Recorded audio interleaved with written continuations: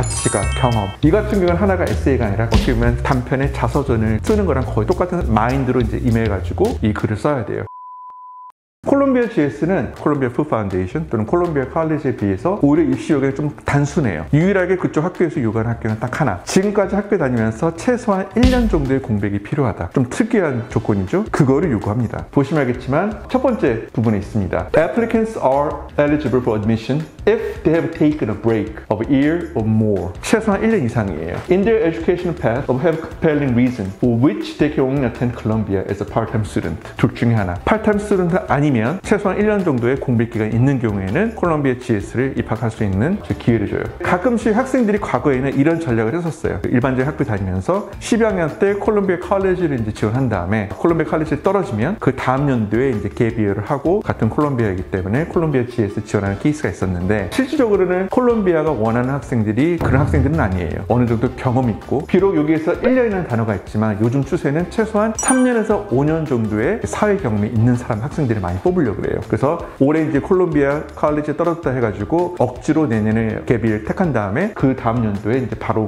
이거를 충족시킨 다음에 콜롬비아 GS에 지원한 학생들이 많아가지고 콜롬비아 GS 같은 경우는 조건이 있어요. 어떤 단가 대에 상관없이 우리 콜롬비아에 너희들이 지원했다면 3년 안의 시점에서는 우리 콜롬비아 GS 지원할 수가 없다라는 문구가 있어요. 즉 그만큼 한 번 우리 학교에 지원했다면 다음에 이제 콜롬비아 지원하기 위해서는 충분한 사회 경험을 쌓고 와라. 네, 이런 부분입니다. 그리고 굉장히 특이한 부분이 미국에 서는 이제 학사 편입이라는 제도가 그렇게 흔치는 않아요. 콜롬비아 GS 같은 경우에는 저렇게 second bachelor degree를 해가지고 학사 편입이 가능한 학교입니다. 그래서 아까 전에 말씀드린 그 3년 동안 한 번 지원했다면 3년 안에 다른 학교에 지원할 수 없다는 조항이 여기 있어요. Applicants may not simultaneously apply to School of General Study or to any other undergraduate division of Columbia College, nor are candidates eligible to apply uh, School of GS if in the last three years they apply any of these divisions. They were not accepted. 네. 이 조항을 어, 모르는 학생들이 꽤 많더군요. 그래서 막상 지원했을 때 이런 장애물에 걸려가지고 지원을 못하는 케이스를 많이 봤습니다. 입시 요강에 대해서 얘기를 할게요. 이게 콜롬비아 GS가 필요한 입시 서류들이에요.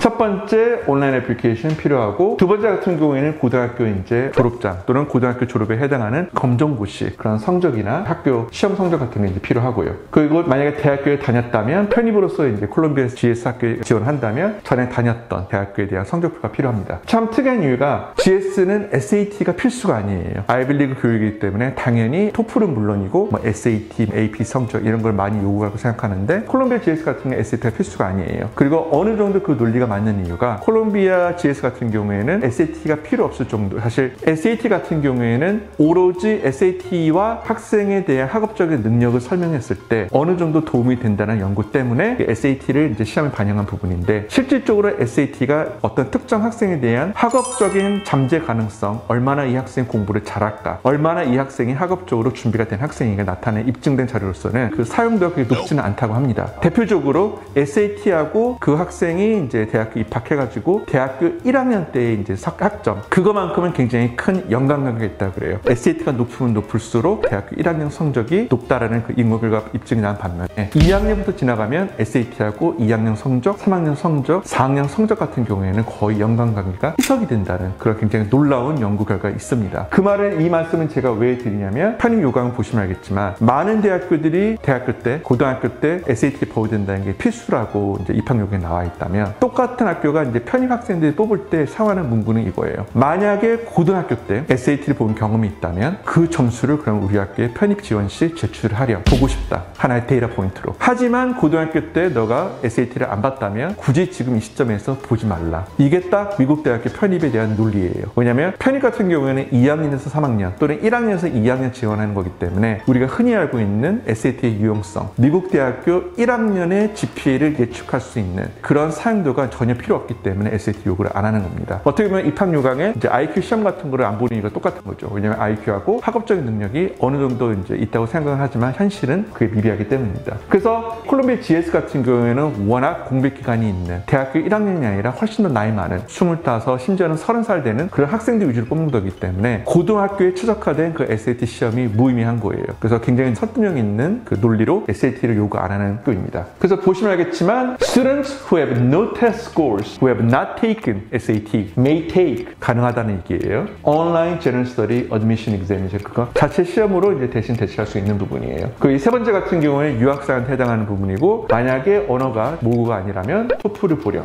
일반적으로는 한 100에서 110 정도 나와야 되는데 실질적으로는 거의 110점이 이제 cutoff라 보시면 돼요. 굉장히 높은 점수를 요구하는 학교입니다. 그리고 이제 가장 큰 특징인데 미국 대학교 이제 전반적인 이제 신입 지금 지원한 학생들 같은 경우에는 열심히 아마 쓰고 있을 거예요. 아이비리그나 이제 Common Application 사용한 학생들은 대부분 쓰고 있는 에세이 길이가 250에서 거의 650이에요. 650 단어라면 single space로 A4 용지에 쓰면 거의 한 장이 꽉 찰 정도로 전형적인 딱 한 장짜리 에세이라면 거기 비해서 이제 콜롬비아 GS 같은 경우에는 1500에서 2000 words 일반적인 신입생이 얘기하는 3배에서 4배까지 요구하는 그만큼 자기 인생에 대해서 길게 그거 하고 싶은 얘기를 다 하려 그런 식으로 이제 학생들한테 자기에 대한 삶에 대해서 자기에 대한 포부 그리고 어떻게 자라왔는지 가치관 경험 이런 거에 대해서 이제 상세하게 설명할 수 있는 그런 랭크를 줍니다. 이 같은 경우는 하나가 에세이가 아니라 어떻게 보면 단편의 자서전을 쓰는 거랑 거의 똑같은 마인드로 이제 임해가지고 이 글을 써야 돼요. 굉장히 핵심적인 부분입니다. 그리고 추천서 같은 경우도 이제 당연히 받아야 되고요. 일반적으로는 제가 봤을 때는 직장이나 뭐 또는 가족이나 이런 분이 있겠지 만 이 두 가지 추천서를 요구한다면 최소한 자기 학업적인 능력을 어느 정도 입증할 수 있는 한 분의 교수님이나 학교 선생님 또 학교 선생님이 아니더라도 테스트파 해줄 수 있는 그분이 필요합니다. 그러면 이렇게 입시를 다 하고 나서 그러면 많이 기다려야 되나요? 콜롬비아 같은 건 비공식적으로 shortlist를 해요. 무슨 얘기냐면 어느 정도 서류 통과를 하고 이 학생이 정말 우리 학교 오면 좋겠다 생각하면 인터뷰를 요청합니다. 근데 인터뷰가 우리가 흔히 알고 있는 굉장히 어떤 특별한 프로그램 통해가지고 그런 인터뷰가 아니라 전화 인터뷰예요. 그리고 admission counselor가 미리 이제 사전에 통보해 주지만 새벽 4시, 5시에 약속을 setup한 다음에 전화 와가지고 30분 동안 자기가 쓴 에세이에 대한 부분, 자기에 대한 배경 설명,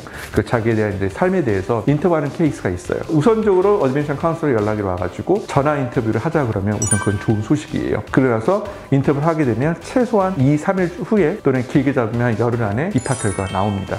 그래서 항상 전화 같은 경우에는 꼭 거기에 대해서 준비를 하시고 임해줬으면 합니다.